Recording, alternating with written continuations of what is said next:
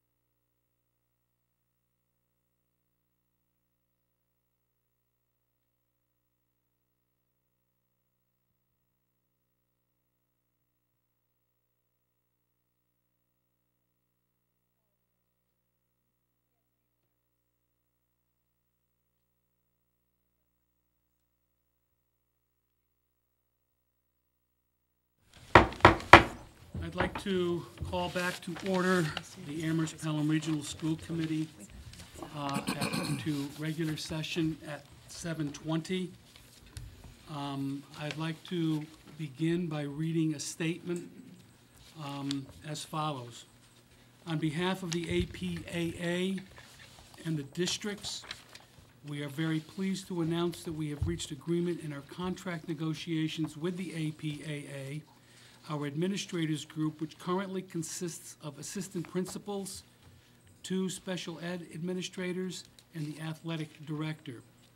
The three-year contract, which commences July 1st, 2013, calls for cost of living increases of 0%, 1%, and 1% over the three-year term. We also agreed to work toward changes to the administrative evaluation process, consistent with the Department of Elementary and Secondary Education regulations. In addition, we have agreed to an amended longevity plan to recognize administrators who have long-term service in the districts. Both the APAA and our districts recognize the increasing educational demands and the challenging budget times we are facing. And we work together to come to a satisfactory agreement for both parties. Thank you very much. Thank you. Um, I would um, like to take care of a couple of sort of procedural issues before we proceed. First and foremost, I would like to uh, officially welcome Kathleen to um, the Regional School Committee um, and express my own personal um, um, looking forward to your sharing your experience, your expertise, your background. Um, And as I indicated to you, I believe earlier in a, in a correspondence, um, your obvious commitment to the children of the district. So we welcome you and look forward to working with you. Me too. Welcome. Thanks. As you can see by looking around, um, we are undergoing, uh, we're in the process of transition, uh, which might last for, oh, a month or two, depending upon how things go.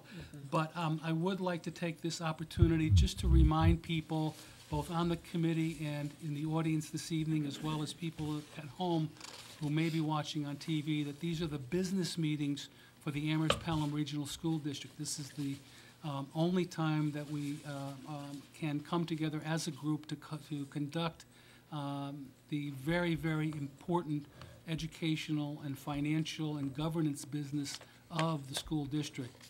And so it's important that we um, conduct our business in as efficient and as orderly a fashion as possible, while at the same time making certain that everyone who wishes to speak and contribute to an issue or a matter before the board has allowed, is allowed to speak. So I'm going to reiterate something that um, I've said before, um, but feel uh, compelled to say it again, and that is, I am going to ask people who, from the committee, who uh, wish to be recognized, to please raise your hand. Um, I will recognize you um, as um, I see fit in terms of the number of hands that may go up, and also who has spoken and who hasn't spoken, that kind of thing, and try to respect everyone's willingness, desires, um, in um, speaking before the board on any particular issue. So I am going to ask that you continue, as you have in the past, to observe that. Um, I'm also going to ask members of the committee um, to also remember that um, as, as business, as, as representatives of uh, our communities, uh, it is not at all uncommon for uh, people in, of our communities to contact us about a concern or an issue either that affects a particular person or family or child, uh, but also may be seen by that person from our community as having a larger interest uh, within that community. I'm going to, again, remind members of the committee that when you are informed of those kinds of matters, uh, they should be communicated to both the chair and the superintendent um, for consideration of how to respond to those issues. Um, It's very, very important that um, we speak, uh, we're, we're a collection of individuals, uh, but we're also a collective, and we need to speak as one voice. And so I am going to ask the members of the committee, and forgive me, but as we go through this transition period, I may feel uh, a need to say it again, and I apologize for being repetitive and redundant. Um, But I am going to ask members of the committee to please make sure that you follow that procedure so that um, if a response is, is necessary, um, that it can come with uh, one voice from either the chair and/or the superintendent. Um, So I would ask that you, you do that. Um, I'm also going to pass out, pass around, I'm not going to pass out, um, but I am going to pass around uh, the warrants. Um, We have, as uh, we always do, confiscated your automobiles until you make sure you sign these. So please make sure you sign them as they come around. I also, I'm not sure if the superintendent is going to say anything, but I- I'm going to preempt the superintendent and express publicly congratulations to Sharon Palmer, um, the 2013 teacher who received the 2013 Teacher Award from the Connecticut Valley section of the American Chemical Society, um, chemistry teacher at Amherst Pelham Regional High School. Um, An extraordinary honor, both for, of course, for uh, Ms. Palmer, but also, I think, for the department as well as for the high school. A truly extraordinary recognition of uh, excellence in teaching and education. Um, Next, I'm going to ask the members of the committee to review the agenda. Um, I'm going to make one slight possible change, and that is when we get to 3B. uh, Rob Detweiler is going to make a brief presentation about um, the OPEB liability trust agreement proposal. Um, You'll notice that it says it's for discussion. I am going to ask the committee, um, and I will ask um, the committee to make the decision whether or not it wants to vote on this particular proposal this evening. That is not a requirement. I'm simply going to ask if you are ready to vote tonight if you wish to do that. Otherwise, we will postpone that vote. But he is going to make that presentation later this evening. Other than that, does anyone see any items on the agenda that they wish more time to be spent on? Not hearing any. I'm also going to turn your attention to the calendar. Um, We only have about a month and a half left of the school year, but the um, amount of business that we need to take care of over the course of the next month and a half is really, continues to be extraordinary. The budget is behind us, uh, but our work is not finished, and I would include amongst the most significant tasks that of the evaluation of the superintendent. So um, we have, we are going to have to pay close attention to the final month and a half of the calendar. So with that, I'll ask if there's any public comment from members of the audience. Not hearing any from the assembled multitude. Um, I will turn attention to the superintendent who has some announcements. Yes, I do. I'm going to go around you, Kathy. Look at you. Thank you. Thanks. Thank you. Um, Since you took one of my highlights for the evening, no, it's great. It's less for me to, to speak to. So a couple of quick things. I just want to um, remind the community of the Amherst Education Foundation am- Annual S- Spring Sprint, which is Saturday, the 18th. And that will be a 5K run or walk. um, And that starts at 10 a.m. um, And I believe starts at Wildwood Elementary School. Also, we have our seventh annual Latino Achievement Night, which is Friday, May 17th at the Middle School Auditorium. And the celebration begins at 6:30 and recognizes our students K through 12 for academic effort and progress, leadership, and community spirit. And there's lots of performances that happen that evening with our students, and we hope people will come and join us. Um, Also, the Amherst Human Rights Commission is seeking nominees for their Human Rights Youth Heroism Award. And Amherst students who are in K through 12 can be nominated for demonstrated acts of kindness, unselfishness, and community service. I absolutely love this, this award. So um, we hope we will see many, um, our students nominated. And letters of the, of nomination are due to the committee by May 31st, and the winners will be celebrated in a community gathering in June. There's an attached letter for you just so that you can see more information about um, this nomination. Also, um, uh, Camilla uh, Carpio, I believe is how we pronounce her last name. Camilla is one of our students at the high school, and she received first place in the Northwestern um, District Attorney's Spoken Word Contest. So we want to recognize and celebrate Camilla. Um, She's a member of POCU and M- and an MSAN scholar. And her work is entitled Eliminate Moments of Silence. And you can view that on um, YouTube, and the, the um, the address is there, or the, is that what you, how you call it, the, the YouTube address? I guess that's what you would say. URL. URL, thank you, is there for people to be able to um, take a look. And, and we um, thank Camilla for all of her hard work in our schools and recognize her, her talents. Um, We also have a Mixed Media Artwork Award. Our high school senior Natalie Schuler Moss will be featured at the Center for um, Arts in Natick on May 16th. And the event will celebrate the creative forces behind the Massachusetts High School Magazine of the Arts. So we'd like to um, recognize her, and her selection is entitled The Lonely One. So congratulations um, to Natalie. Um, Our chorale um, has been recognized, um, as many of you know, under the direction of Anita Cooper. They won the best, uh, the award for Best Overall Ensemble um, at WGBY um, Together in Song Series, and they will be performing for us on the 28th. So we will, yes, I know. We said, they said one song, I said, oh, no, two. So they'll be coming here to um, allow us to be inspired because they are so inspiring. Uh, we also just want to mention that our Vela Scholars Summer Program is happening this summer again at the middle school, which is a free three-week academic and enrichment opportunity for our rising seventh graders and our eighth grade students. Um, so this is a, a wonderful opportunity for academic projects, building relationships with the middle school faculty, um, enrichment led by Amherst College interns, and the program runs from 8:30 to 2:30 Monday through Friday, July 8th through the 26th, with transportation and lunch provided. So more information can be found on our website. Um, few more congratulations. One is to Dave Rainon, and I'm not going to do a great job with Kristen's last name. Debbie, do you know Kristen's last name? Oh, it's the second page up in the top. I'm going to allow you to see who can do that well.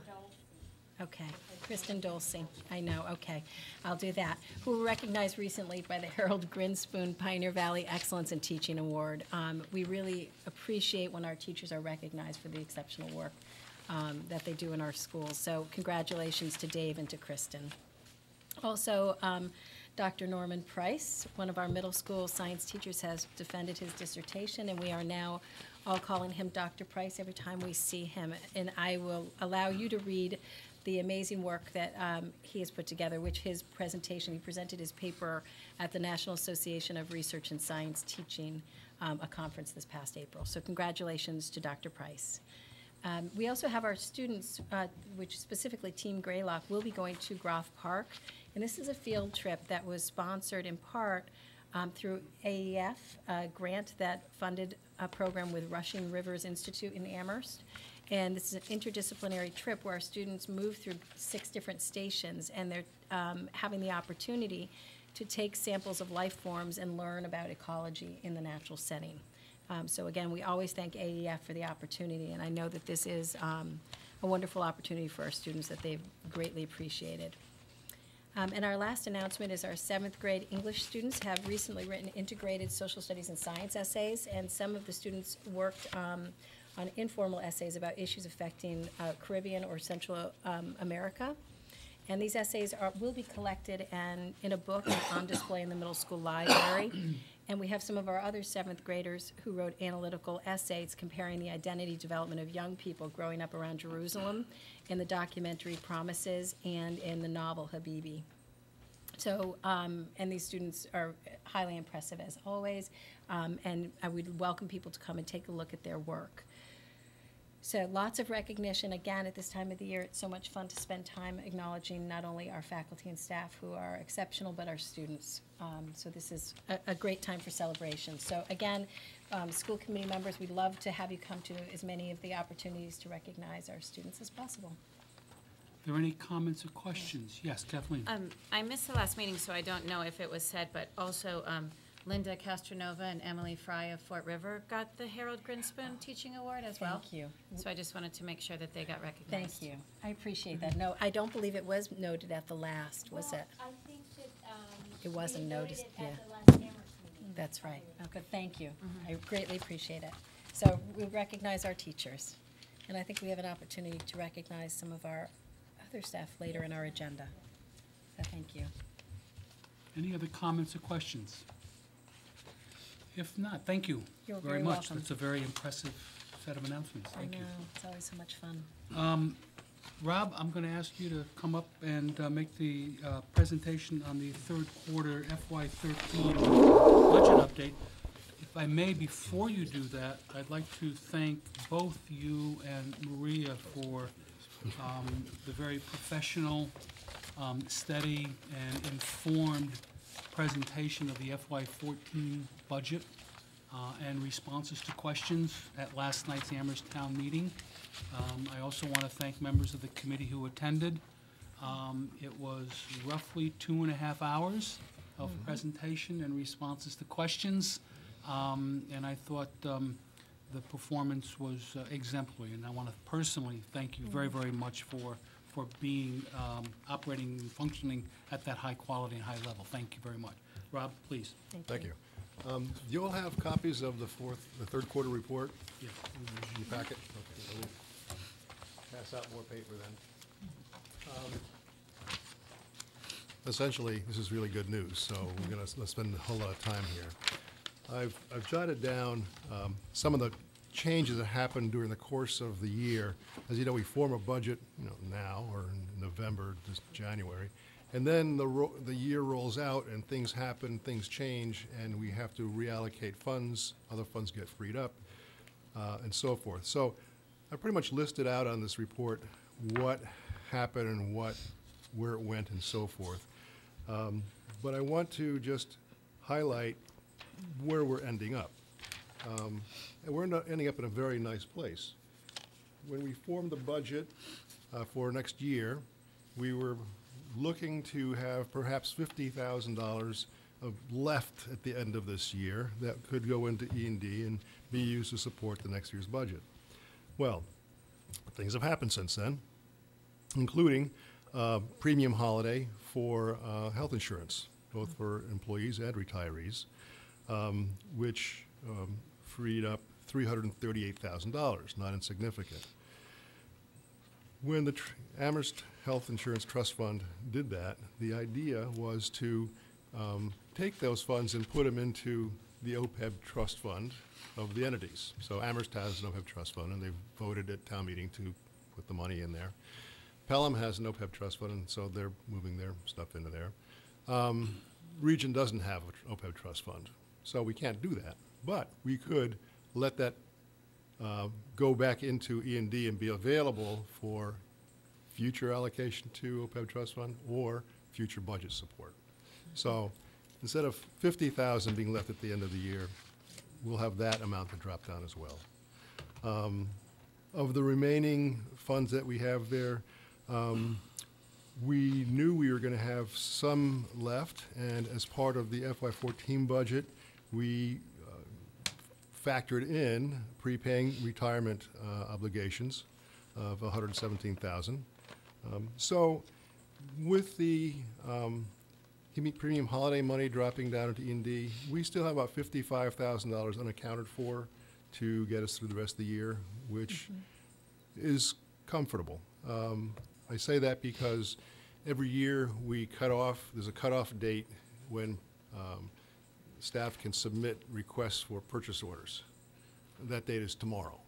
So as of, once they all get processed by the end of the week, we'll know really where we stand, and it's going to be, you know, not exactly here, but pretty close to this. Mm-hmm. So If there's any questions, I'd be happy to go into it, but that's the good news.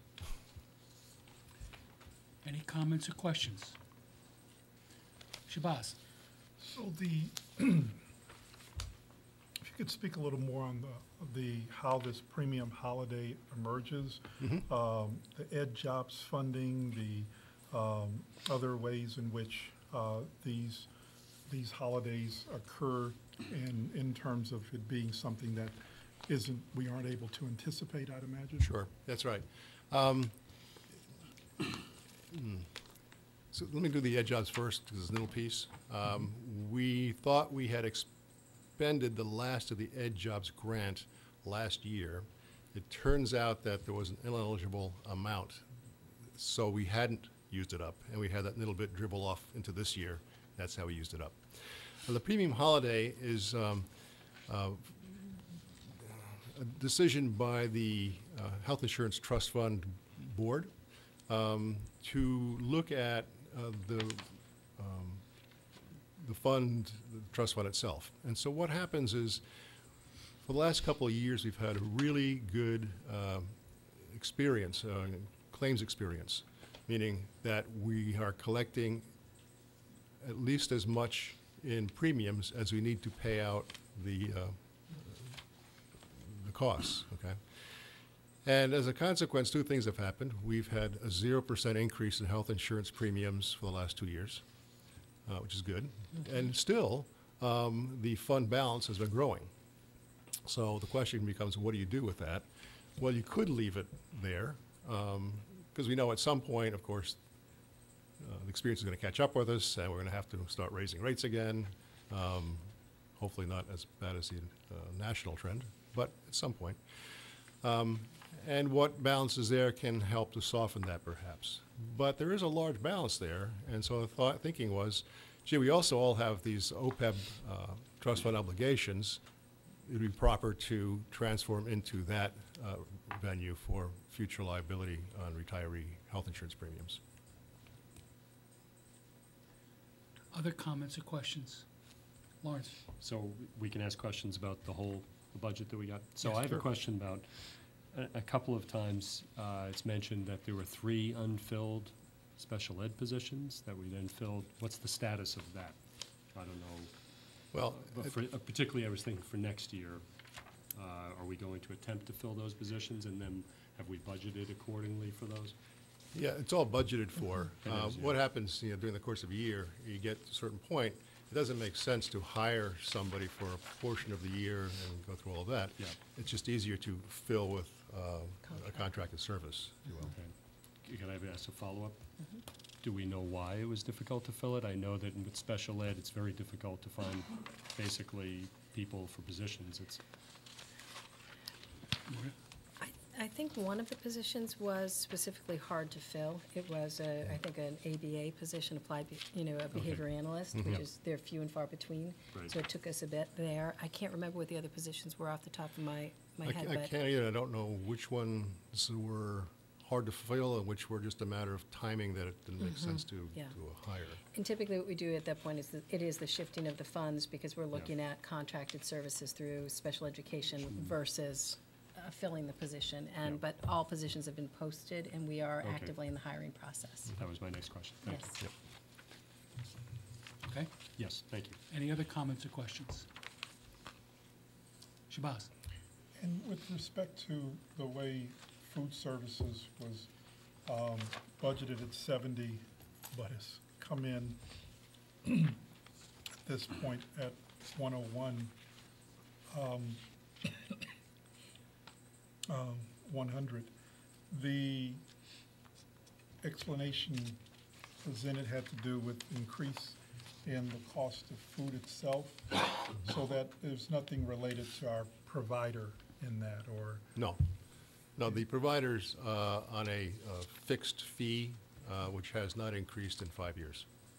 Um, It's, uh, it's a matter of um, um, costs, it's a matter of participation, um, and the new standards require um, good stuff, you know, fresh fruits, fresh vegetables, um, a a wide assortment, and pretty much uh, food service um, departments throughout the state, if not country, I don't know about the country, but state, I know, um, are struggling to make ends meet because of the increased costs. One of the, um, and that's pretty widely known, so the USDA had provided an option to apply uh, for an extra six cents per meal, which required documentation of menus, what we're serving, how it's served, you know, the whole thing. Um, And we, so we did that uh, back in the fall and qualified to get that six cents. So it helped, uh, but it doesn't close the gap. But it's good for the kids. Shabazz? And the, um, do we ever look at whether um, the the children are actually eating all what we're, you know, that there- there isn't a waste factor? And, because you can change, you know, menus and put new things in and require them to have certain things, and if they're not eating it, you Yeah. know, then it's, it's waste, I'd imagine. Exactly. And it's fascinating. So, we start this year. Um, Let me go back a couple, couple years. Um, before we had to. We're ahead of the curve in some ways. It's not too difficult for us to come into the new standard compared to some districts. A couple years ago, we moved to uh, all whole wheat um, product, no white. So pizza, for instance, went from like near white crust pizza to whole wheat crust pizza. And a popular line. Uh, I eat eat at the middle school, so I watched the lines at the middle school. I can't speak for the rest of them. A popular line, and all of a sudden it just dried up because it was whole wheat crust. And then after a couple months, um, I think they started realizing that that's pretty tasty stuff. You know, it's got some flavor to it. It's, uh, it's got a nuttiness to it, and it became more popular than ever. So that's just one of those learning curves. Okay, fast forward to this year. This year, a kid is not allowed to leave the line unless they have a fruit on the tray and two vegetables and all this stuff. Well, they're not used to eating fruit, but they couldn't leave the line unless they had a fruit on the tray. So they took the, and to their credit, they said, you know, this is, you know, we don't want to throw it out. It's a waste of food. So what do you do? So they set up uh, a sharing table. right? So you don't want the stuff. You had to have, you have to take it. You don't have to eat it. If you don't want to eat it, you can put it on the sharing table. Somebody can take it for a snack later, take it home, whatever. And we wrap our wrap, our apples in plastic wrap and so forth for health reasons. So that, that was a big thing for a while uh, in the fall. Well, it's kind of dwindle off. Now they're starting to eat the stuff. So there's, there's, a, there's a learning curve, there's an experimental curve, uh, you know, but it, it, it moves along. Sorry to take up so much time, but I think it's fascinating to watch these guys, you know, just kind of feel their way along. I- If I may, um, as a member of uh, the subcommittee that was involved with uh, designing the RFP for food vendors for next year, the conversations that we had in the subcommittee about adolescent, pre-adolescent eating habits was a fascinating experience, um, as well as the, the sort of the economics of trying to provide uh, as healthy um, a, um, a lunch as is possible. Um, It's a fascinating experience. And I I'm wondering, Rob, can you share with us where that process is at the moment as we speak? Yeah, absolutely. Um, so it was a couple, three weeks ago, we released the RFP, having noticed it in papers and through the state outlets and so forth. Uh, we received uh, six, I think it was, requests for the proposal itself. Uh, we shipped them off. Uh, they were due back um, two weeks ago, Friday, so, okay, a week and a half ago. Um, and we only got two responses. Two, two vendors showed, I'm sorry, they didn't send them back. They had to show up for a mandatory meeting so that we could take the representatives around to each of the kitchens. They could see what the facilities looked like, what the equipment looked like, what the layout was, so they could make an intelligent proposal to us. Only two companies showed up. Uh, a disappointment. Uh, we know both companies, so, okay. Um, we'd reserved a large yellow bus to take everybody around, but we all needed a van. Um, the proposals themselves from the two companies are due this Friday. And then next week, uh, the Food Service Committee will get together and review uh, the proposals and uh, rank them, rate them against the rating criteria that the committee had developed before we issued the RFP itself. So that'll, that'll go on, um, and we'll probably invite semifinalists back to interview them in person, uh, make a final decision, and hope to bring a recommendation to this committee on June 8th. I, I would also add, if I may, that the contributions of the community members to the subcommittee in terms of um, incorporating very specific, explicit expectations, demands, if you will, into the RFP in terms of locally produced food, organic food, natural food, healthy food, and so on and so forth, was really uh, extraordinary to um, be a part of that. Um, I'm embarrassed to say that I didn't contribute as much as I would have liked to, nor as much as the members of the community contributed, uh, but it was, um, uh, I, I think, a, a process that resulted in um, a document that people had to respond to that I think, I, would, I would say that everyone at this table would feel good about in terms of uh, doing what we could to ensure as much as possible that kids would be receiving a nutritious meal, a healthy meal, um, and also one that would be um, um, pleasing to the taste. as well. Um, And so I'll, I'll be very interested to see which, what these two companies come up with, because the effort that went into producing the RFP, uh, particularly on the part of the community members, was really, really very, very thoughtful. Um, Quite an experience. Yeah, it's very good. Thank you, Rob. Um, Let me ask, if I may. Sure. Um, Since we'll be coming forward with a recommendation on June 8th, um, would it be useful to you to see a copy of the RFP before then? I don't want to chop down trees unnecessarily, but if you think it'd be interesting, you know, we can bring a stack of these things to the next meeting and you can look them over. I think, Yes, I think it would be on the, um, the 11th. 11th, Yes, not the 8th. June 11th. Oh, Okay. June the 11th is our next meeting. so. Annie? Could we ask to have it sent to us, like with the packet, maybe, or even an It- email, so we can look through it? It's Like, pretty big. On, on the computer? It's pretty big. But can you do electronically or That's what I meant, yeah, electronically, so that we can look at it, because reading it here is hard to talk about it then. Oh, yeah, sure. You know? But I thought we could bring it to uh, meetings before, well, I guess we The can. 11th, see. yeah, The 11th. okay. Okay, well, Thank we'll you. do both. Email it, that would be great. Yeah, Yep, email's sure. easier. Great. Any other comments or questions on the um, third quarter budget update?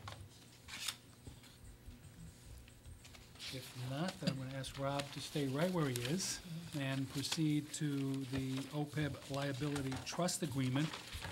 And again, um, just as prologue, um, I'm very sensitive to the notion of not asking people to vote on something without having due notice. Um, And so I'm perfectly okay if you're not comfortable voting on what he is going to be presenting this evening. However, um, the reason why I would even entertain voting on the proposal is because of time.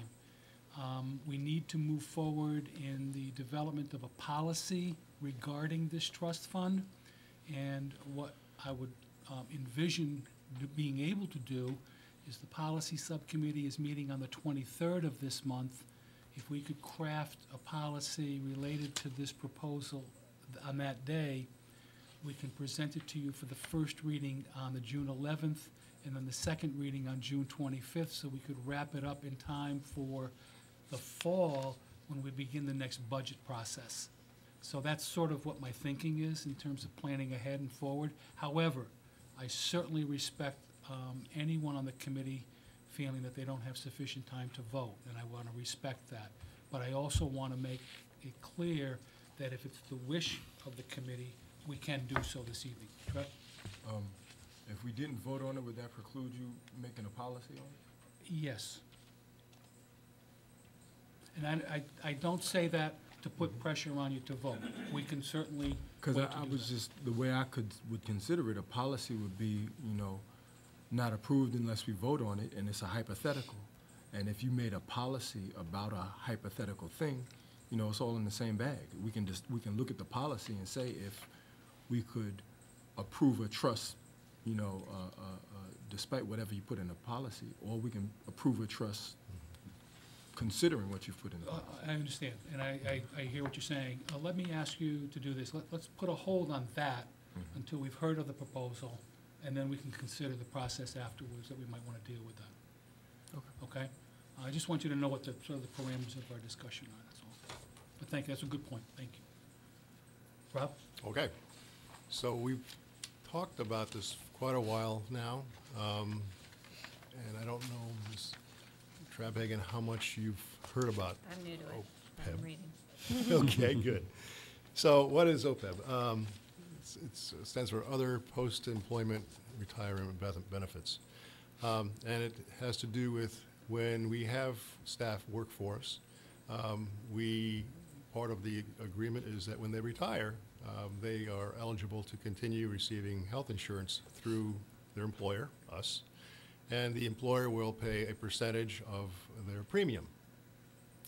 Well, um, someone retires at age 50, um, then the district is on the hook for paying a percentage of their premium um, for decades. Okay, and that's, a lot of people build up over time. Um, Every two years, well, let me step back. Um, A couple of years ago, uh, the accounting board um, specified that uh, public entities, towns, cities, school districts had to start reporting in their financial statements uh, what that outstanding liability, if you will, is, or approximates.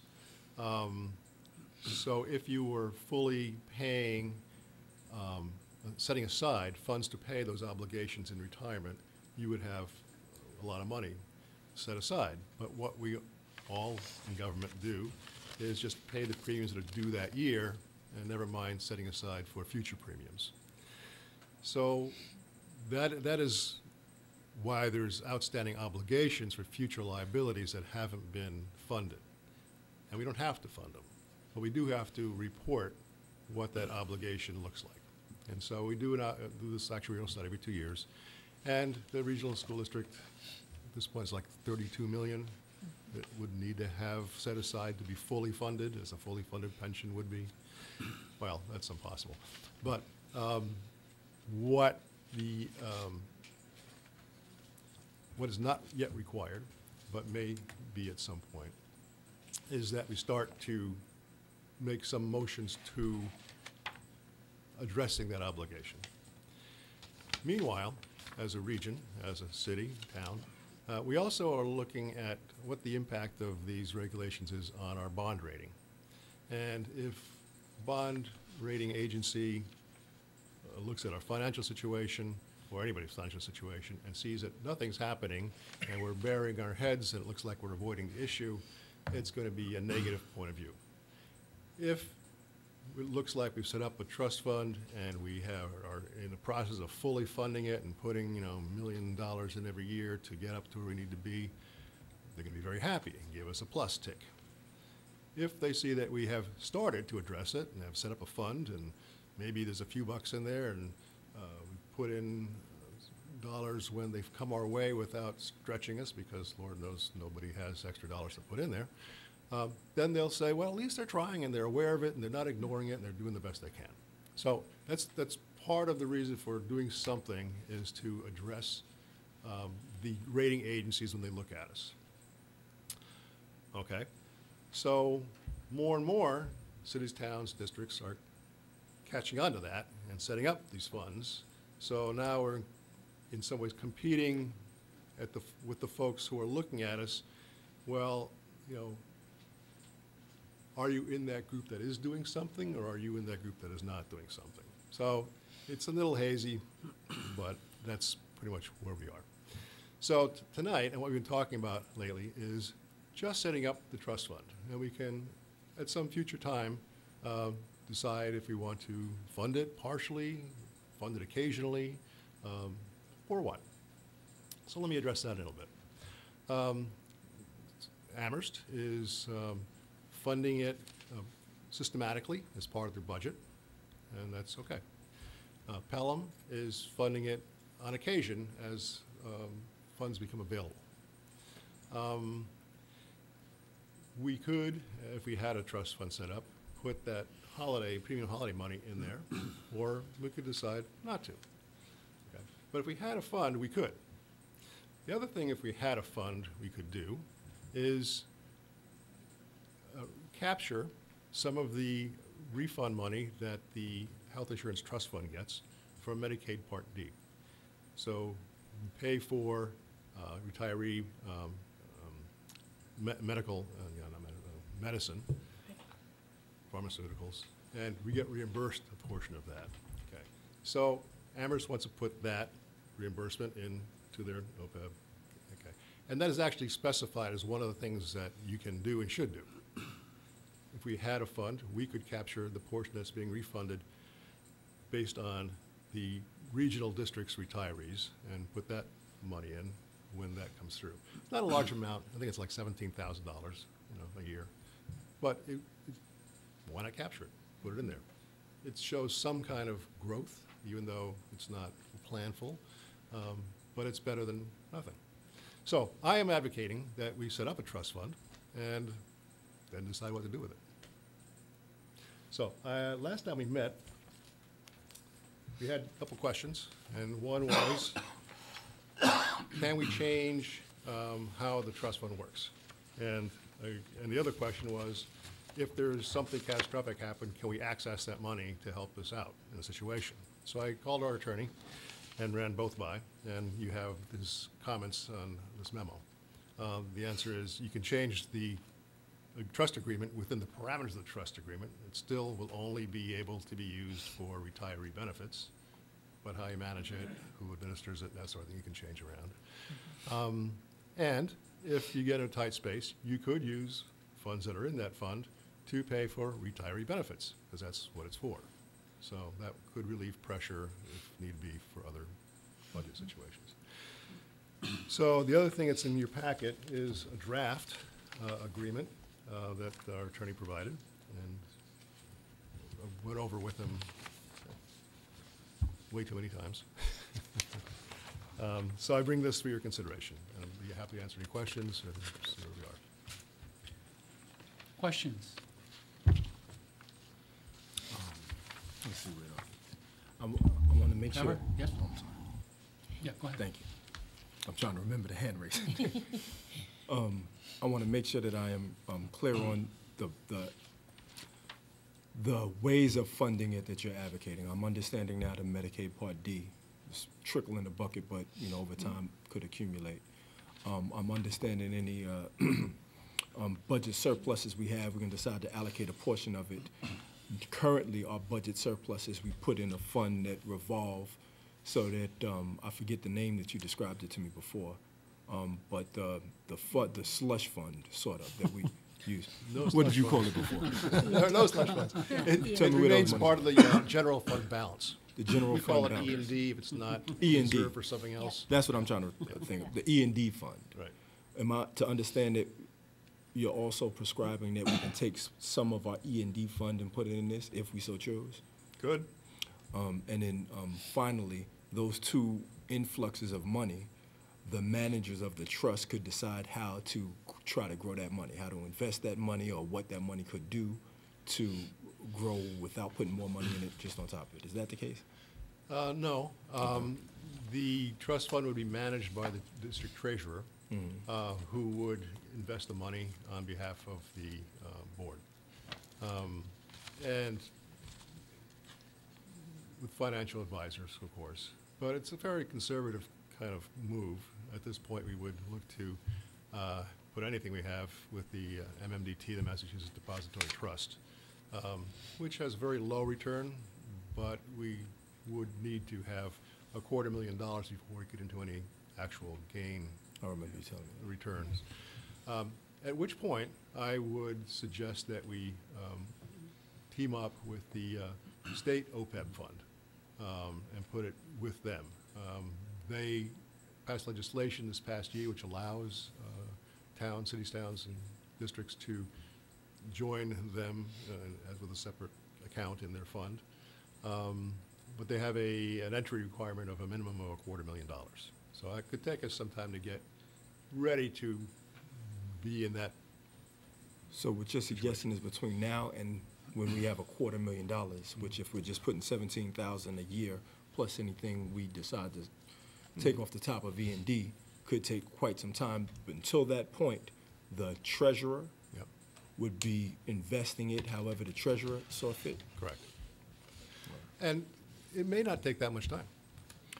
Because we just looked, I mean, this year, we just had a premium holiday of three hundred thousand. If that had dropped in, bingo, you're, But- you've got access. The lawyer did address that the trustees could de- decide to invest it. No, the trustees Could not, uh, delegate that to the treasurer, who is a bonded individual. and that's part of the, um, outline of this thing, that's Yep. not, Yep. okay. So, actually, there's another document that's in the packet. Um, I handed out a little while ago. It's called Establishing an OPEB Liability Trust Fund. Yeah, right. And like, who does what and what the responsibilities are. Yeah. Yeah. Other comments or questions? Trevor, I mean, excuse me, Shabazz. What is our OPEB obligation look like, and at what rate does it grow each year? Hmm. You know, I didn't bring that document with me, but it's, it's at about thirty-two million and it grows a couple of million a year. And it's just us, the regional, for the regional school district? Correct. Mm-hmm. Kathleen? Now, Oh, sorry. I'm sorry. Go So when we talk about this, and uh, some of us were at the presentation uh, with the uh, actuarial uh, individual who did the study for us, and we met with the Amherst Finance Committee.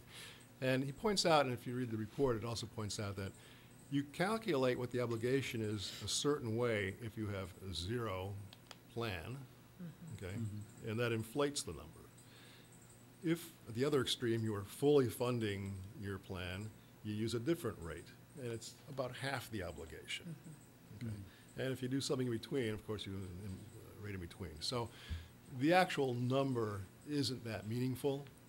The concept that we have an- a liability obligation to pay retirees, that is a fact, um, and that will grow. Um, And it makes sense to address it at some point as we are able to. Because this is all in the context of an economy that is not generating a lot of extra dollars when we need to put stuff into our classrooms. So that's why I'm going real easy on the funding and saying just, you know, we'll see what we can do, but let's at least set up the fund itself so we're making steps and showing the world that we are aware of, of the situation. Quick follow-up, is to say, and these are benefits beyond what they would expect as a state employee in terms of pension, life insurance, health care. There's something above and beyond that? No, that- no, uh, the, the pension is taken care of by the pension boards, whether it be the uh, re- uh, Teachers Retirement Board or the Hampshire County Retirement Board. Um, This deals with the health insurance portion and the life insurance portion. health and life. The life insurance portion is very small. It exists, but it's small dollars. The health insurance is the big dollars one, and that's what this addresses. Shabazz, all all set? Kathleen? So before this, what happened? It just, like, this bill gets paid every year, but then there's not a lot of planning about what the obligations are for the future? Correct. Mm-hmm. There's no provision for future obligations. We're just paying what's coming due this Just year. hoping that you can kind of meet Keep the up- bottom keep line up each with it. year? Yeah. Mm-hmm. Okay. And so, for example, where does the seventeen thousand dollars go right now? It stays with the uh, health insurance trust fund because you don't have a place to move it to. So it's not available, for example, filling in other deficits in the school's budget? No, It's in the town. no. Because it's in the town? Oh, Town. Yeah, in the, the health insurance trust fund is uh, a trust fund managed by the town of Amherst. Uh, It's like a self-insured health plan, and it covers the town of Amherst employees, town of Pelham employees, and the regional district employees. You kind of banded together to have a health insurance pool. But So all it- those, all those monies are paid for health insurance, and they stay with health insurance. So at this point, your, your recommendation to do this really is to set ourselves up to be more prepared in the future? Correct. Mm-hmm. Okay. Annie? I just want to say, I think I'd be happy to vote on this tonight and be comfortable with that, because it's something we discussed, and it's just a good thing for our district, so. Um, Before I go that route, I'd like to make sure that there are no other comments or questions. Lawrence? Uh, So at the last meeting, I think I was one of the persons who said, we need to have this conversation. Uh, And I think this is a good start. I'm a little concerned that we're, we're down in terms of school committee representation, but I don't, I think voting for this doesn't in any way inhibit or preclude having that conversation that we need to have about, you know, paying for our classrooms and what's the resources and the, the human resources and the other resources that are necessary in our classrooms. But at the same time, uh, we do need to be mindful that we, we have, I think someone at the, the presentation, uh, Mr. Stone's presentation mentioned that in a sense, we have a covenant with our employees. And I am, I am very concerned. Uh, This is part of our covenant with our employees. We pay them a salary, and I think it's also important that we at least make a gesture uh, to say that we are living up to that covenant for their future care, because that's what this meets. So I'd at least, I'd be in favor of at least establishing the trust fund, and I hope that we have a conversation, because I know that there are other people on the committee who, at the Stone presentation, had really some great insights, and it would be a, a very worthwhile conversation. Trevor? I oh, practically am echoing that, you know, I think this is worthwhile to do, but the devil is in the details. And so when I read this draft, there were some provisions in this draft that I'd like to change. So if we voted on this today, it would be just to, just to bring this into existence and we'd have future conversation on what the draft of it would be? Or would we, we be voting on this draft, is my question, uh, to the chairman, I guess. Um, I'm seeing us, if there's a motion, the motion would be to adopt the draft. This draft, yeah, I don't want to adopt this draft. Other comments or questions?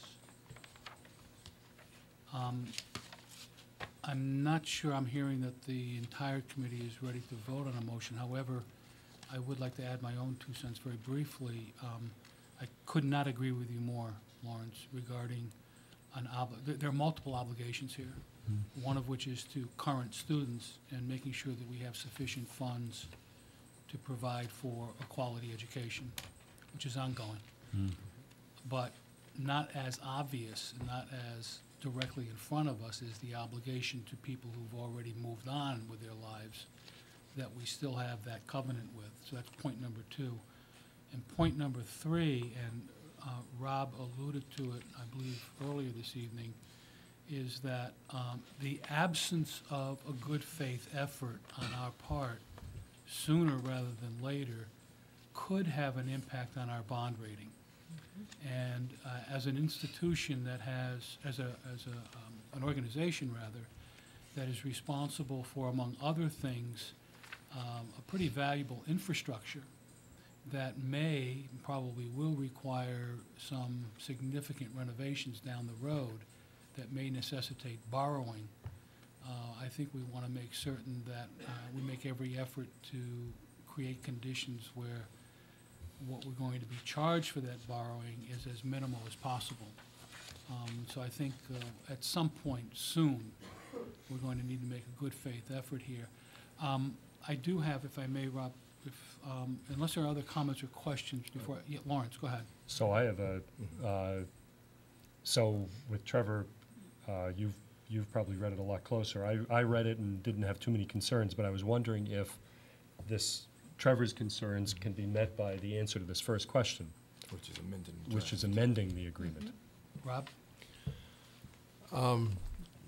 Yes, you can amend the agreement to a certain extent as Okay. to how, to allow for changes in the conditions. So if we had an- another, I can't imagine, but if we had another obligation that we don't currently incur, uh, we could add that to this document. Yeah. The nuts and bolts of how it works is fairly prescribed. Uh, You uh, alluded to, can the trust fund board make investment decisions? That probably you can't change, because they want to keep people, lay people out of that arena and put it to professionals' hands who is licensed and bonded and so forth. Um, So, yeah, what I'd like to do, if we're not going to vote tonight, if I may, take your questions, and I'll get them to the attorney and see what he says. Um, He's done a number of these for other districts uh, in the last year, um, and this is pretty much how they're all turning out, because, you know, it's not, Um, it's not a those- creative writing exercise. Along those lines, Trevor, I'm wondering if, um, perhaps if within the next three days, four days, members would email to you concerns about the document? All right. Um, Would that be, um, uh, Yes, I, I'm just, my concern is that, you know, I am, I am for doing this. Right. But I am, I'm, you know, when I'm, this part in particular I'm looking at, and it's not a, a big deal, and I don't know if it, it would require input from the lawyer, but the secession plan as it's outlined in this draft just doesn't seem to be robust enough. You know, of, of what happens when a person leaves, uh, the school board and, and the succession to a new trustee. This just, just seems, you know, bare bones and doesn't seem enough. So, you know, I'm not opposed to the concept or the idea, but think to rush into this without thinking this through in terms of how this fits to us. what, Uh, I guess my, to put the question, you know, straightforward, when would the draft be finalized? Would an initial vote to make this, you know, happen, finalize this as this draft is being now set in stone? Or is there another meeting we can have to discuss the nuances of how this works, is what I'm asking. Rob? So that's a great question. I asked him that question. So the way it's set up is to make it as easy as possible. And the, the easiest way to do it is to have the school committee be the trustees. Um, And so what happens when somebody leaves the school committee? well, none, none of the school committee replaces them. And so that's what the secession thing is. Whoever, whoever's on school committee is a trustee. And what he specifies is, when a new person comes on, you sign, a- sign on to it, you know, putting your name to it, acknowledging that you are a trustee. That's all there is to it. Um, He says it's advantageous, he likes to see, as people leave, that they submit a paper that says they are also withdrawing from uh, the trust. But because of the way it's worded, you don't actually have to do that, because if you're no longer a member of the school committee, you're not a trustee. So that, that's why it's worded that way, is just to make it as easy as possible for the changing school committee composition. I'm just, there's nothing that's hard and fast that's wrong with that. But I'm just thinking that, I'm foreseeing some nuances that would make that, uh, uh, uh, uh, some details of that have to be spelled out. And that's, that's all I'm saying, that before I voted for this, I would like to know that the school board is willing to sit down and discuss those nuances, and that it's not just, that's it, and we move on and not consider those factors. That's, that's, that's really what my concern is. Other comments or questions? If not, then I'm going to suggest um, that members of the committee email Rob over the course of the next week. Yeah, sure. Reasonable? Mhm. Concerns about the draft proposal, and then submit a revised draft proposal on the 28th. Well, I don't know if we need a revised draft or not. Maybe we just need to answer some questions and Right. see I what's could- going I on. could, I'd be willing to vote on this, and, and if, if, if the things that I'm describing can be addressed in an amendment process, that's fine. Mm-hmm. I'm just, I just I'm- don't, I just don't want to vote on this thinking that this is the end of this, and, and we don't re- revisit how this would be administered and how this would work. That's all I'm saying. Before I accept the motion in that, to that end, I want to make sure that you're confident that you, you're, you know that to be true, that it can be amended to meet your, That's what, You're that's what, confident. that's what the, the first question that the lawyer, you know, uh, responded to, saying that, yeah, we can amend it as long as we're not changing how it, how, or, or what it does. And my concerns are not about what it does, my concerns are about how we would do it. My concerns are, uh, uh, uh, revolve around secession, revolve around, um, uh, perhaps even quorum. You know, and those are things that we would discuss amongst ourselves and decide that this is the way we will administer this. then I will Yeah. entertain a motion to accept the draft proposal. I make a motion that we, ex- that we accept this draft proposal with a, a, a, a date to discuss procedure or amend procedures. Before I ask for a second, I want to make sure that you're comfortable with that procedure. I'm not sure how this goes. I don't think legally. So if we're not comfortable with the draft, bounds, I don't let's not adopt it. Yeah. If there are some questions you have, give me some scenarios. Like the question two, I kind of like took some concerns I heard here, I crafted a scenario and ran it by him and had to respond to it. So if you could craft me a few scenarios that capture your concerns or questions, I'll have him respond to those scenarios Thank you. and uh, see what he says. Okay. Twenty-eighth. So then the twenty-eighth. Yeah. We'll go with, That's we'll what I think go, is we'll really go with the fine. continued discussion on the twenty-eighth. And in the meantime, email Rob your concerns. Yep. Yeah, Thank you. Any- Ken. Would we also add a vote on the twenty-eighth then as well? Mhm. Discuss Yes. and vote. Yes, yes. yes. And it'll be on the agenda, Yeah. discussion and vote. And, an- and potentially a revised draft. Right? Potentially. If, if Potentially, applicable, potentially. yeah. May not be. Yeah, I mean, if there's some reason to revise it, he, the way he crafts these things is to allow maximum mm-hmm. flexibility mm-hmm. and to make it as easy as possible to administer. Mm-hmm. Because nobody wants to spend endless hours doing extra meetings. So the way, and that's why he uses school committee. Okay, so you have school committee meeting some night, and then when it's over, you call the trust fund meeting to order, to just take care of your business, which probably take half hour, forty-five minutes to listen to reports, find out where the money's going on, make some decisions, and you're done. So, you know, so there's not extra meeting time and so forth. Lawrence? So, uh, yeah, my concern with an amended draft, and this is with due respect for your concerns, is that if we have an amended draft, then we could get into a position where there are other members who are now concerned about the amendments and the revisions that have happened with that. So I think at some point, it would be great to get Rob scenarios, get some clarification from the attorney, and then, once we get back the clarification, then make a judgment based on the clarifications of the actual language we have. Mm-hmm. Annie? I was just wondering, is, is now not the time to talk about those procedures? Because if that's something we're gonna talk about, shouldn't we just do it now? I'm sorry, do Shouldn't we what? just talk about those things now, like if there's a question about succession or, or whatever Trevor's questions are? It's on the like, table for Is it now discussion, the sure. time to talk? So, um, Is that- Uh, Shabazz? So I'm wondering, and I'm not clear in this document where it identifies who will be the investment server, service provider. What is the investment policy? The question of, are there any uh, tax liabilities to this, or are we completely exempt from that? Uh, Totally exempt from tax liabilities, um, and in fact, because this is a trust fund as part, one of the funds of the regional school committee, uh, we would be using the same tax ID number, tax, same tax exempt number. So Okay. it's- it's still, it's still part of the regional school financial package, if you will. And we have other trust funds for scholarships and stuff like that.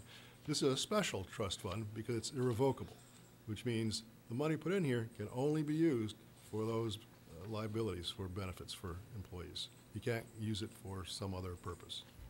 That's why it's a special um, document, it's a special type of trust fund, but still part of the regional schools' uh, financial package. Okay. Maria? Um, Oh, sorry. I'm sorry, It's so, um, Article two talks about the administering by a board of trustees, and that being the school committee members. And the administration of the trust fund is in Article three, um, where, what's the number? okay, I have a vote. And, okay, so where does it say the, um, treasurer? I thought it was up front. While you're looking for that, Yep. can Maria, just- go ahead. While you're looking for that, Rob, the other thing around the policy is that once this is voted, then the policy subcommittee needs to create a policy. So The- um, that's part of the process that your represent, your representatives would need to work on in the subcommittee. Okay. But I Yeah, don't- answers. Um, Annie, did you have your hand up? You did, that, that's, what I was asking to Okay, discuss okay, it now. Okay, I'm sorry. Trev? Um, so, uh, which article is this? Article five, um, seven, where it says a trustee may require other trustees as well as other parties to the agreement to execute a release after an audit of the trust fund. Right. I think that should, um, um, not be a may, but that should be a requirement after a term, that there is definitely a, um, a release that after, you know, uh, uh, my term as, as trustee and school committee person is over, that I have a release, you know, from everybody. I think that may require, you know, should just be, you know, common procedure. Yep, that, that can be um, a, a policy of the, tr- of the trustees. And, and so, It doesn't have to be in the trust document, but you can make a policy that that's how you're gonna. and that's what, that's why I'm describing, and that's where we're in murky water of what comes first, the chicken or the egg. I'm, I'm thinking that some of my things can just be addressed in terms of what the policy is. But when I read some of these So, articles, it seemed like um, some of these things were, were too generic and should be dialed down. Um, another one that I looked at, and this may be, you know, dema- debatable or controversial, but the quorum of um, one half plus one, I think it should be at least one half plus two, um, only because one half plus one could be one town deciding the whole trustee thing. Right. Uh, Um, that excuse is me, article, Excuse me. Go ahead, Trev. Finish. that's Article three, Article three, um, number two, or is it number three? No, it's number three. Three. Three. Article three, number three. You know, one half, well, you can read it. One half plus one of, of the then sitting trustees shall constitute a quorum. So for us, that's five, and for us, that could just be Amherst. And so I think it should at least be, you know, or one half plus two. Simple change. Okay. Kathleen? Um, If I'm, Oh, I was Oh, just I'm sorry, gonna, excuse me, Let me- excuse me, Kath, I'm sorry. that's all if I right. go back to your respond, and then your I'll go previous back. question, I think that's addressed under Article four, number one A. One of the duties is to establish policies and rules pursuant to which a trust fund is to be operated and administered. So that's where you would say, you know, you'd have to have a release. Okay. Article four, one A. Okay, the operation.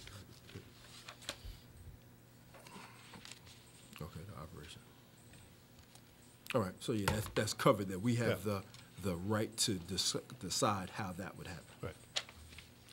Kathleen? I was just gonna say, is the answer to Shabazz's question on page three C and page four F, right? Because we would say, does C basically Mm-hmm. say that we, we can hire people to Yeah. do the work?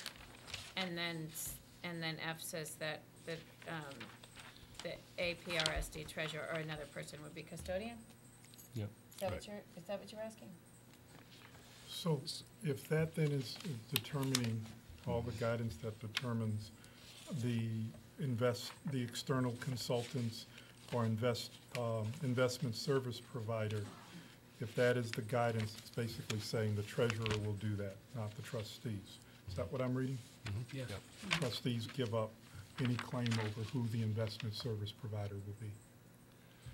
Well, and Article four, which, which one's, I'm. Ca- I'm just asking what Catherine said. I'll- Oh, I'd it's I'd like Rob four. to answer Shabazz's question first, though. I, I, I- the, the charge would be to maximize returns at the lowest possible risk. That's a general guidance to all treasurers for cities, towns, and districts. Um, And it's pretty much how the state association of treasurers works. okay? So I don't see anything going terribly awry here. These are very conservative people. Now, um, you can decide uh, that we want a policy where we're going to just invest it with um, the state OPEB fund. Or maybe you will decide that you want to hire an ex- ex- an outside investment advisor at, uh, I don't know, Fidelity Company or whatever, uh, and invest through that. But then the discussion you will have is, okay, what kind of fees are you going to be paying for what kind of risk? And so that becomes a, a larger question. Um, I don't think you need to nail that in here. That's something you decide as we go along as to what you want to do with it. Yep. Lawrence? That's where Uh, I just guess I need a clarification. We have a treasurer right now, and the treasurer is, to some degree, managing our finances in Yep. some capacity. Yep, And uh, we, we trust the treasurer. we do. Uh, I'm comfortable with giving the power to the treasurer. I don't, I guess, I've only been on the board for a year, so I, I just, in all my watching of school committees, I've never heard of an instance, even here, where uh, we have the school committee start to manage the responsibility of a treasurer, the professional who we've hired to do that. Is that correct? Is True. that- So I'm prepared to trust the treasurer with that responsibility. Uh, Short, obviously, if the treasurer does something illegal or of any sort of egregious, then, then we'll step in. But, but I'm, I, I will be honest, I'm a high school teacher. I don't have knowledge of investments, so I'm, I'm prepared to hand over that responsibility to the treasurer. And I'm hoping that we hired someone who's capable of that. And I don't think we would have the treasurer investing the funds. Yeah. The treasurer will be finding the pla- right place and person or venue to invest the funds on our behalf. Right. And they're doing that right now in other capacities. Hmm. Yes. Yeah. Rob, if I could ask for a follow-up on that. My understanding that if we hit the quarter million mark, mm-hmm. you can then take our trust fund and piggyback it with the state. We, we can And- apply, And at, at that point, their financial advisors make decisions about our piece of that overall trust fund, is that correct? correct. Okay. Yep, so we would apply to become part of that system, and we would have an account with that system. Think of it in terms of like a mutual fund, we all know about mutual funds. So we would be buying a share in that mutual fund, which is the state OPEB fund. And so we'd have a separate account, and our money would be segregated, and would grow with the rest of the fund, um, and available to our use. Um, As I've expressed to you before, um, while I accept the responsibility of moving forward with this concept, there's a part of me, maybe I'm still a little close to 2008, um, that is concerned about um, the instability of the financial markets and what it might do to us. If we were to join the state, um, is there any, are there any kind of state safeguards to further um, protect um, whatever monies we have in our trust fund.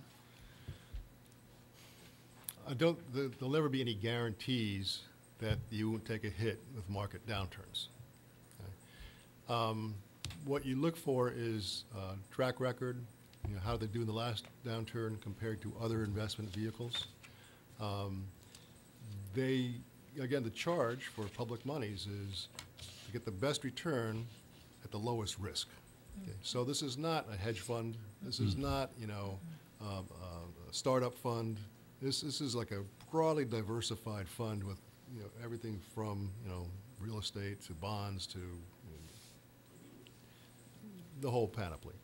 So what we would want to do is look at some of those experiences that this group's had, which I understand is quite good, although I haven't looked at it directly myself, that's what I hear, and, and, and benchmark it. See, you know, is that place, they do okay, is that reasonable? Now, you can't guarantee that you're not gonna have a downturn, everybody had a downturn. But how do they do compared to, you know, name your fund, or name your, um, retirement, uh, group? So it's not our treasurer who at any stage in this makes those investment decisions. No. The treasurer simply identify, be- prior to joining the state, the treasurer simply identifies what he or she believes to be um, the best investment institution for us to link up with. Correct. And so, once we were to go to the state, then we become still further removed from investment decisions about our money. Is that Yeah. correct? Yeah, Okay. so the, the state OPEB fund, for lack of a better term, has professional managers who manage the various types of funds that are within that fund. And I guess one other question I would have then, um, and forgive me, I'm thinking about what little money I place with my financial advisors. Um, I have some choices to the kinds of mutual funds that I can divide up my assets in. Um, If we were to go to an independent investment, financial advisor, That was gonna be my question. we would make those decisions as to how to divide up the monies into various funds. I would suggest no. I And would the same suggest thing we would have be a true with- professional uh, Right. investment advisor The same thing would be licensed true with the and- state. Yeah. Okay, thank you. But even if you went to a Fidelity Right. to have our own little thing, you'd want a licensed, registered financial advisor making those kinds of suggestions. Thank you. Other comments or questions? Which then, which then comes back to the question of um, this way, the wording of this current document. So right now, that places the sole authority or custodial rights of that decision-making not to anyone on this board, not to you, but to Mary Wallace. Does that make, s- is that, I hear my colleagues point, well, doing it for everything else, for our, for Yep. our accounts, why not Yep. this one too? But I still, um, I still feel the question, does that make sense? Well, I don't think she would be operating in a vacuum. I think she'd be coming to this, uh, to the board of the trust Doesn't fund. and su-. And suggesting, you know, here's what I think we should be doing. um, And makes sense, showing some evidence as to why. Uh, Goes ahead with your blessing, invests it, and then gives you quarterly, semi-annual, annual reports as to how it's doing, what the returns are, what that looks like against a benchmark. So you have feedback as to whether it's working the way you want it to work or not. It just doesn't say that in the document. That's my point. Kathleen? I actually have a question because it does, what does E mean on Yeah, page EN. four? Because it kind of does say that in What terms of giving us, E on page four, to invest and reinvest that's any what I monies in the looking trust fund as the trustees see fit in their sole discretion. Okay, yep. So that seems like Yep. power that we actually don't want. That's a good question. Let me con- con- Well, Cl- that's, that's the clarify debate, that. whether we want it or not. Oh. But it seems to be in here that we have it, I'm sorry. Right, Go not ahead, the Bob. treasurer. Let me- Rob? Let me clarify that. if That's a real good Rob- point. Rob, excuse me, Rob, let Rob answer, please. Go ahead, Rob. Let me clarify that, because I can think of a reason why it would say that.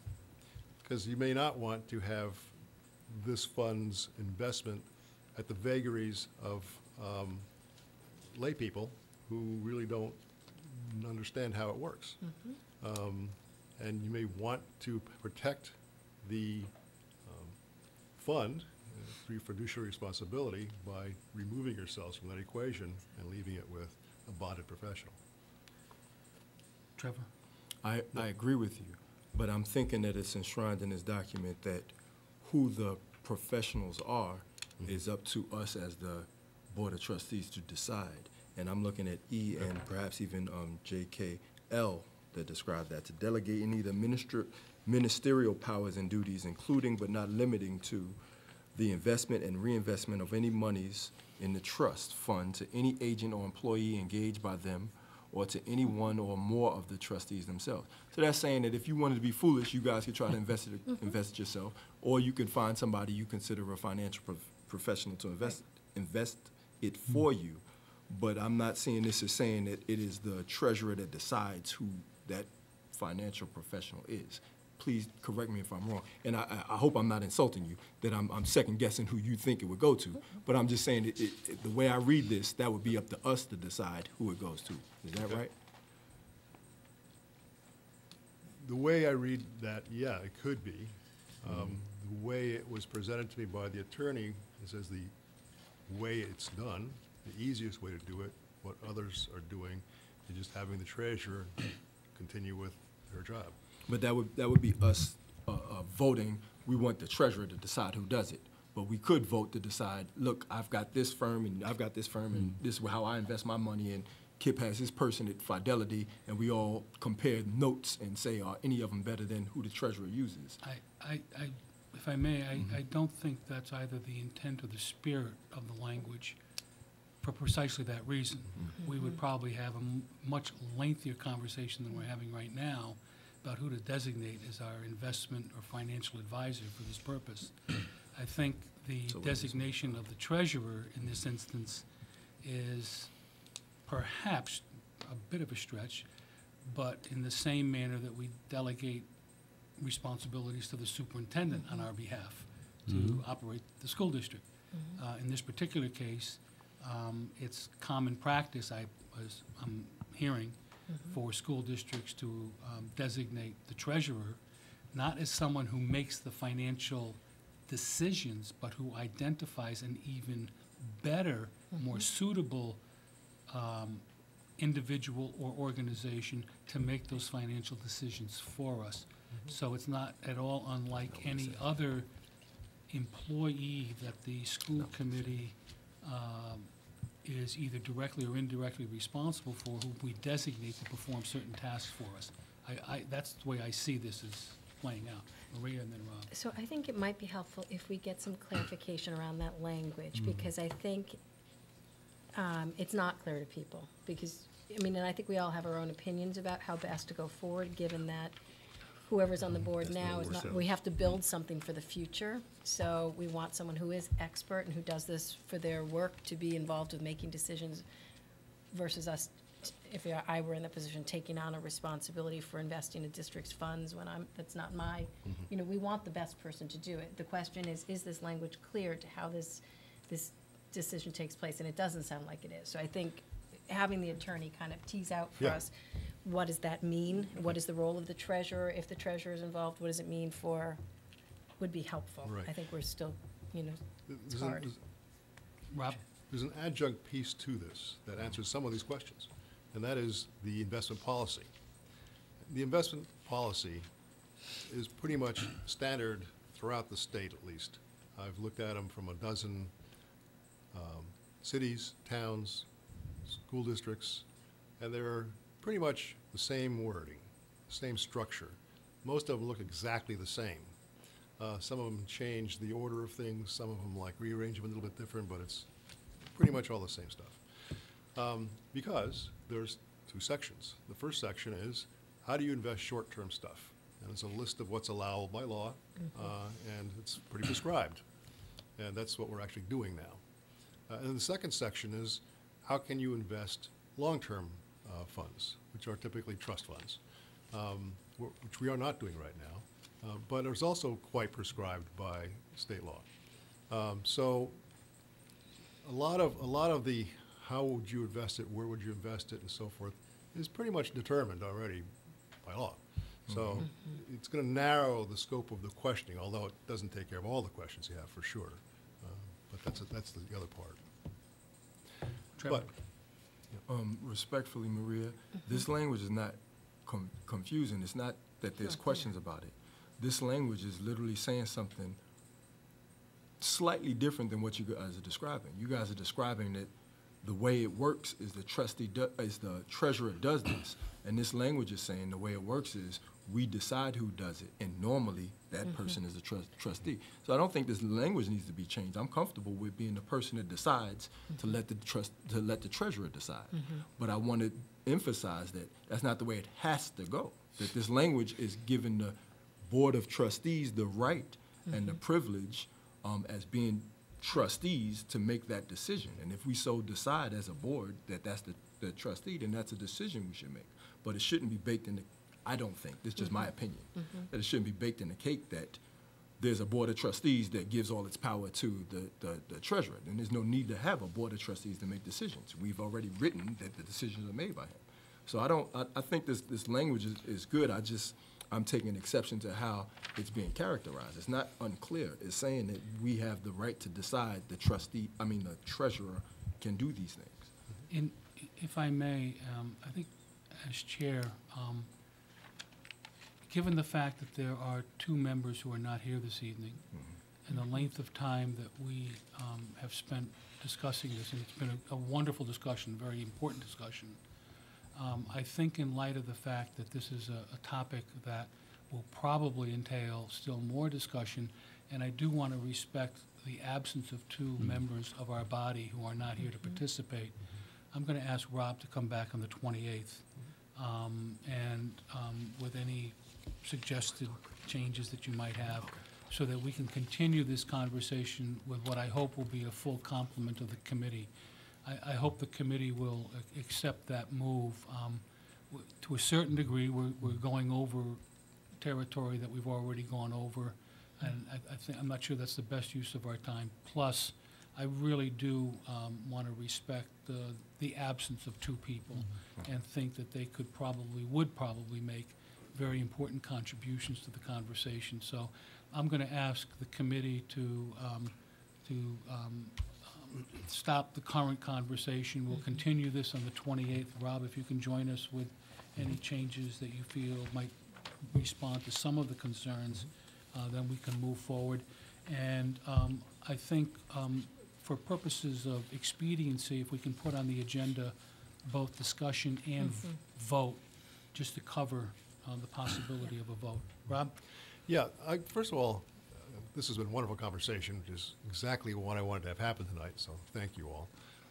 Thank you, Rob. And please, put your little ideas, thoughts, vignettes, scenarios into an email and send them to me, and I'll run them by the attorney and see what he says. We get more information, the better. Um, The more we vet this thing and poke it and kick it around a little bit, the better we're gonna feel about it. So, I, you know, please, anybody, send it to me. Um, Sooner the better. Uh, it sometimes takes a few days to get back, and we want to have all this information before that next meeting.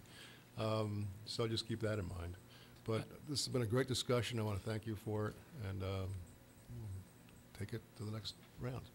I would ask, first of all, I would thank the members of the committee for their understanding of moving forward, and also ask that you get any um, statements that you want to submit to, to Rob by a week from today. That would give you a week to get things together for our next meeting on the 28th. Um, That be sufficient time? Yep, Um, fine. If we can get things uh, to him by, by a week from today, which would be the 21st, um, I I can, I think we can look forward to um, another stimulating conversation on the 28th about As this. soon Thank as- you very much, members of the committee. and Thank you very much, Rob, for your, Pleasure. for your very um, informed contributions, too. Thank you very much. Um, Moving on, if you note in your uh, packet, um, near, near the end, um, there is um, a um, sheet which um, references um, something that I think every school committee um, looks forward to doing, and that is acknowledging exemplary service to the children of the district. And in this particular case, we have a, a motion regarding the awarding of um, clerical and media awards to two members of our clerical and media staff. So um, prior to discussion, as always, I'm going to ask for someone to make a motion to have it seconded, and then I'll entertain any comments or questions uh, prior to the vote. Is there a motion? Lawrence? In accordance with the Unit B employee contract, the Amherst School Committee approves clerical media merit awards in the amount of $500 each for Susan Warren and Jane Fitzgerald. Thank you. Is there a second? Second? Any seconds? Is there any discussion? I would simply like to say congratulations. Congratulations, yeah, yeah. Um, I'm sorry. I, I- sorry. I think that, um, to be, to be recognized by your colleagues, uh, Oh, was- there's really no higher honor failed. for uh, any educator to receive. That was a- Um, Maybe the highest might be um, from students, Um, but um, to be recognized by your colleagues is truly an extraordinary accomplishment. Annie? I, I actually sat with Debbie and um, Terry um, Ominsky and um, read and went through all the recommendations, and they were just, it was so hard to pick even. Um, And it was great as someone who sits on school committee, and we talk about all this up here, to actually go into the schools and meet these people and, and uh, be able to tell them about their award was really fun, because Debbie makes it lovely. So, uh, thank you for all the support that they've given, it's just been great. Thank you. Trevor? So your hand, Um, no, yes, no? I just wanted to, to add my weight of congratulations to that. You know, that I felt uh, remiss for not saying something when you asked. I was in the middle of trying to keep up with my clerical duties and make sure all these things were in my calendar. so uh, uh, uh, let that be a little tip of the hat and a nod to uh, uh, uh, the, the clerical staff amongst us that help keep everything organized. I just wanted to add that. Um, I have a question. Um, Do they receive any kind of, other than our comments this evening, will they receive anything more formally from the committee? Uh, And if so, what? They, at the um, award ceremony, which is on June seventeenth, in Berlin Light, they will receive a certificate, um, their check for five hundred dollars, a little less than five hundred because they taxes. Uh. Um, and that's usually it. But when, but their names are called and they're recognized by the colleagues that night. Yeah, and it is, um, it's, it's really a night that um, sort of makes all this hard work worth it, along with graduation, I Yeah, guess. I There are a couple of nights that really make Sixth this grade work. graduation's fun too. Um, Yeah, um, Yeah. and that's one of them that I would encourage um, Yeah, my please. colleagues to attend if you can. Um, It's, and and it also recognizes retirees that evening as Yeah. well, Mhm. right? And so, right, Yeah. so talking about people who've, who've given their Mhm. good service to the, to the district and to the children of the district, it's, it's an event that you really should put on your calendar. And And thank you, Deb. time frame for that? Six, at what time is the June, seven PM at the middle school cafeteria, June seventeenth? Any other discussion? We have a motion on the floor, lest we forget. Not hearing any. All those in favor of the motion as stated, please signify by raising your hand. All those opposed, it carries unanimously. Thank you very, very much. Um, Next item on the agenda, um, again, um, very positive, not that we don't do positive things, but um, um, contributions by generous people from the community. Um, I would entertain a motion uh, from the committee to accept these um, very generous gifts. Lawrence? I move to accept uh, $500 from Deborah A. Ritzer uh, for the Kingley Perry Award, and $500 from David A. Perry for the Kingley Perry Award, and $500 from Stephen and Brill Costaradis for the Kingley Perry Award, and $500 from Regina and Daniel St. John for the Kingley Perry Award, all equal in total to $2,000. Is there a second? A second. Trevor seconds. Any discussion? Just have a question, if I may. Um, Can, um, I'm embarrassed to indicate, to state that I'm not sure I know who Kingley Perry is or Neither was. do I. Do I, I, I'm not sure, I believe he used to be a teacher years and years ago, but I, Before my time. Mhm. Yes, Okay. and I, I believe it's Kingsley, K I N G S. Okay. I don't That's- know if that makes a difference. Okay. It doesn't Okay. ring.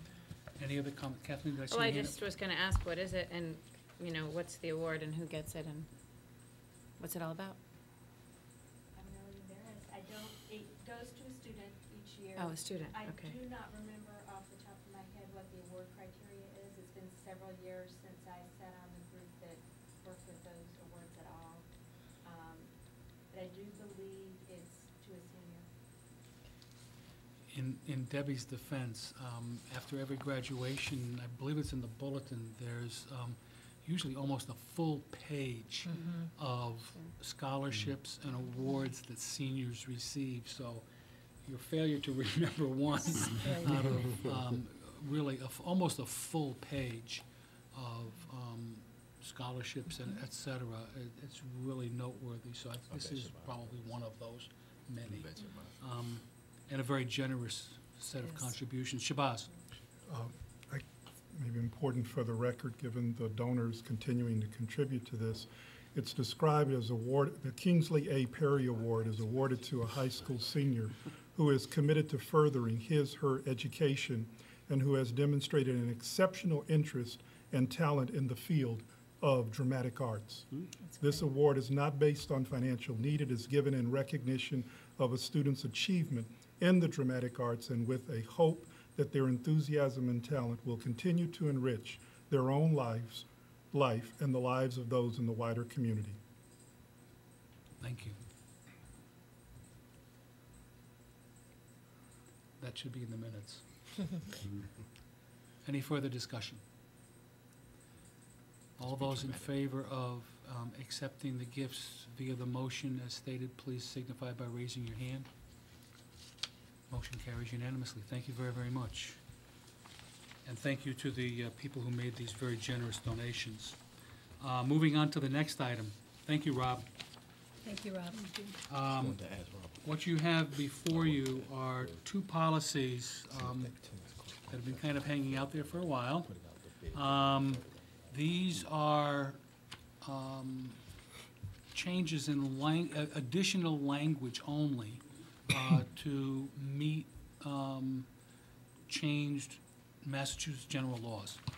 And so that they are, uh, they broaden, they're more inclusive uh, policies uh, than heretofore. Um, And I don't want to say it's, you know, modest changes, I mean, not insignificant, but there's nothing else, there's no other language other than the addition of the bold print language in both of these. So I would entertain a motion to accept, uh, no, I'm sorry, excuse me, my apologies. These are first reading, I'm sorry, excuse me. First reading only. Um, Are there any questions or comments about any of the items before you? Any of the two policies? I, I, Trevor? I haven't compared the two, but um, I'm understanding what you're saying is um, changes in language. What are some of the changes that have to do with, um, you know, gender specificity, or, you know, can you give me an overview of, of, of, of what was required to be changed? I know I can read it with a fine tooth comb, but you might know off the Are you- are you, are- are you speaking about ACA? Yes. Yeah, it's just what's in bold print. Those are additions. So it's gender identity or sexual Gender orientation. identity or sexual orientation. What And then the second paragraph Gotcha. is also uh, uh, simply an addition. There have been no deletions, no other revisions to policy ACA other than those additions. And, and those additions are simply, have been made to simply meet the standards set by uh, the laws of the Commonwealth. Yeah.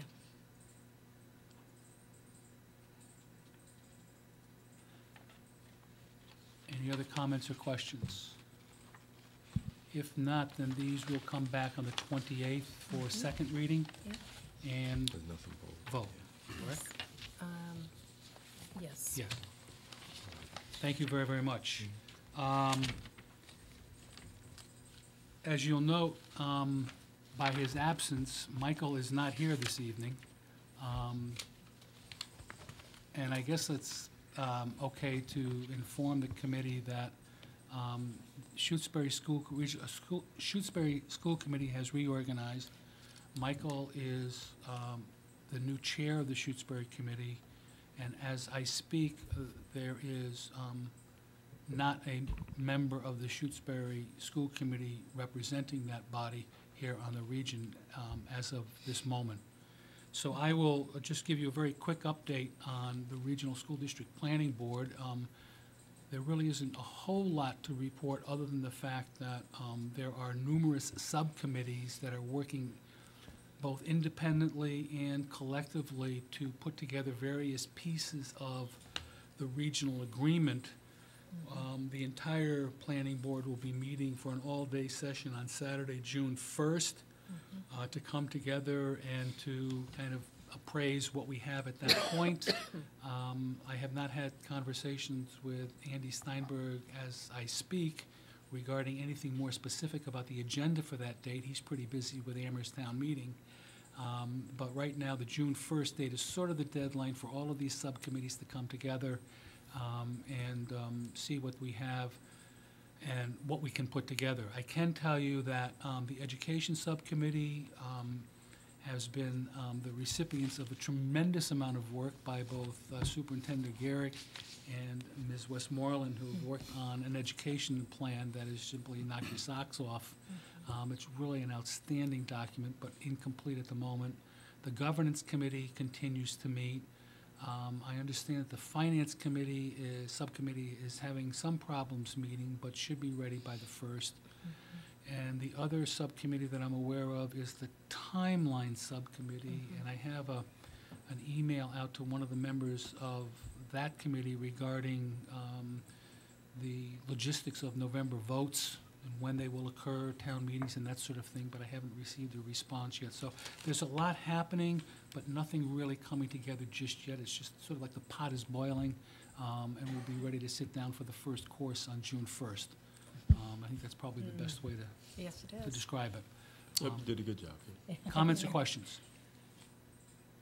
Not hearing any then. Um, I will ask you to take a look at your calendar. Um, And this is a pretty important moment because um, I'm going to ask Superintendent Geryk to um, talk a little bit about some Sure. items that are coming up uh, the end of this month and the month of June.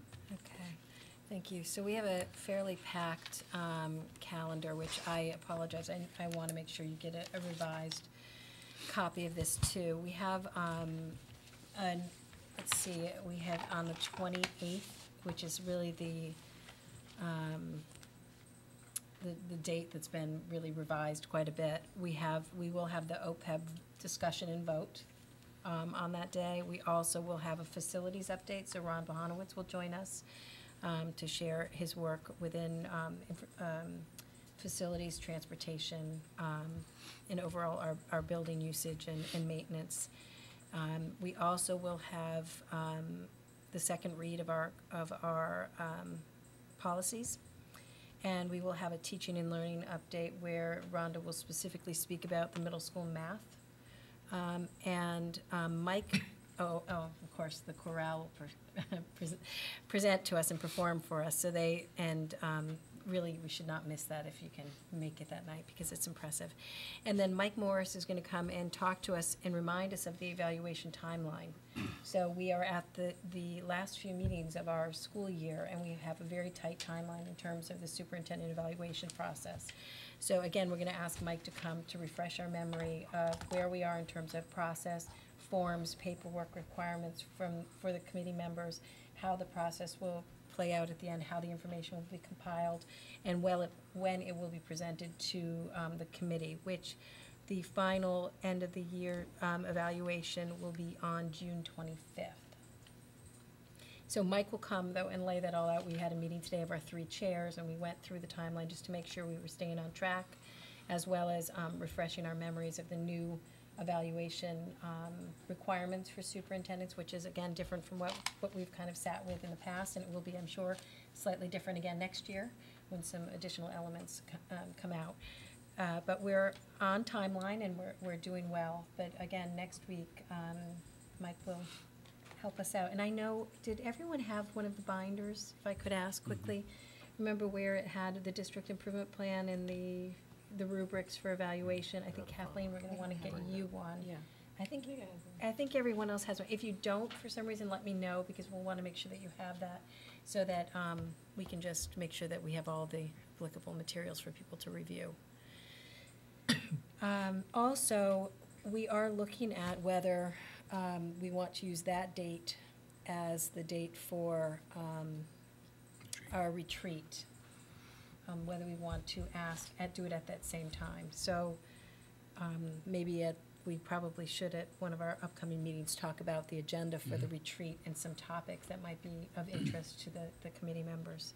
So maybe we could even put that on, Um, um, Can I I don't know if we can fit on the 28th, yes. Um, Just a couple of quick things. Um, Let me go from the last backwards.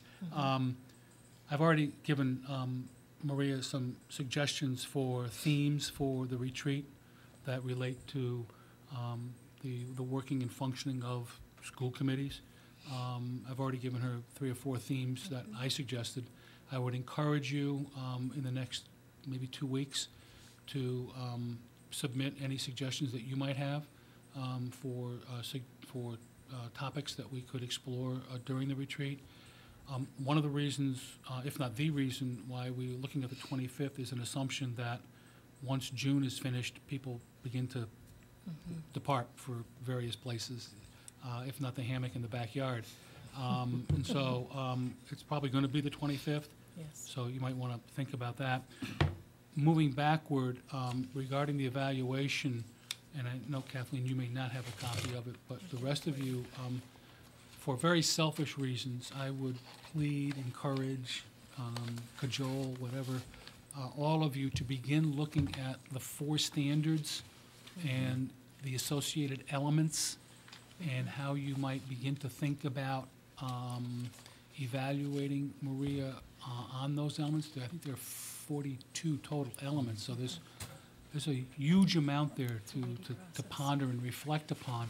And the reason why I, I ask you to think about it is because we are going to give you very, very strict, non-negotiable timelines for submitting your evaluation so that I can then take it, um, score it, process it, assimilate it, and convert it into both uh, a- a a narrative, if you will, um, for the 25th.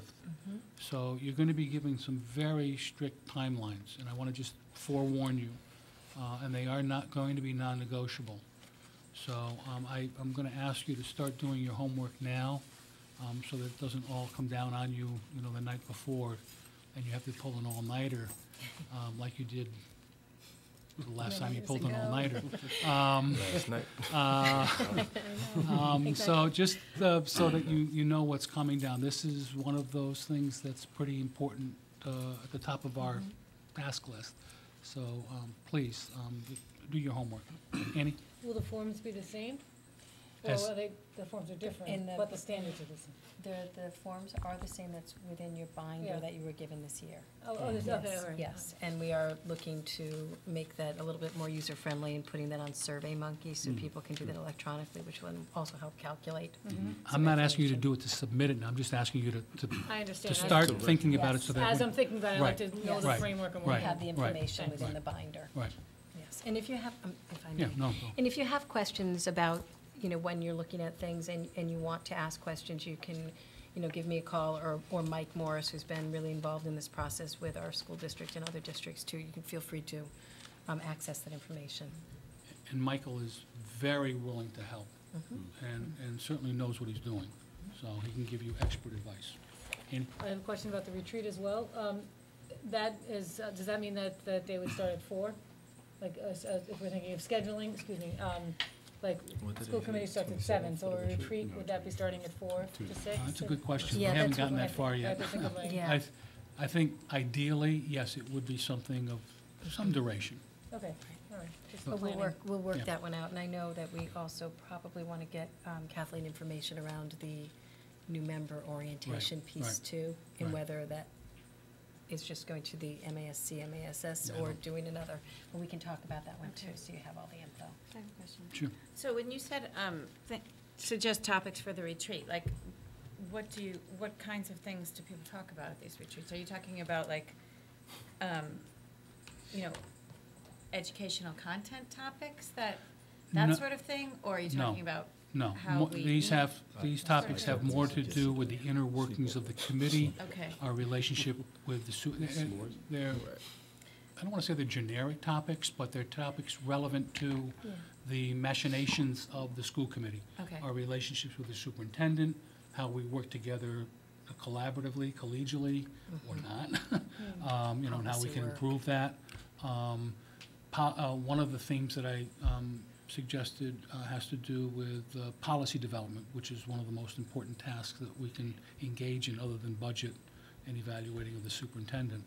Um, And there was one other one there, role of the school committee, relationship to the member superintendent roles, and, and within, governance.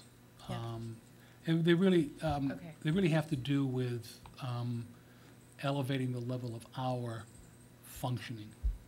okay, Not that it's low, but you know, how can we improve? thanks. Chuck?